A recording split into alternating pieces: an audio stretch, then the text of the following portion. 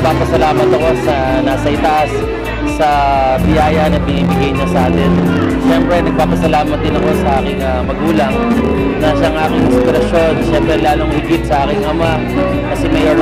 Siya yung aking inspirasyon talaga sa aking uh, panunungkulan. At siyempre, sa aking may bahay na talaga namang very ah, supportive, lalong higit sa aking mga kababayan mga tagapagpuan. Siyempre kung hindi dahil sa aking mga kababayan, talagang siguradong wala ako dito. So talagang itong award na to iniaalay ko sa aking pong mga kababayan. Hindi ko naman makukuha ang award na to kung hindi dahil sa pagtulong-tulong ng ating mga kasamang kawani ng pamahalang bayan. Kaya nagpapasalamat ako sa lahat ng mga kasama natin sa paglilingkod kay Vice Mayor Chris Clemente, sa lahat ng mga konsihal ng bayan, mga punong barangay, mga department heads, heads of offices, at sa lahat ng kawani ng ating pamahalaan bayan. Sa ngalan po ng serbisyong may malasakit, tayo po ay ah, hindi humihinto sa pagtulong sa ating mamamayan.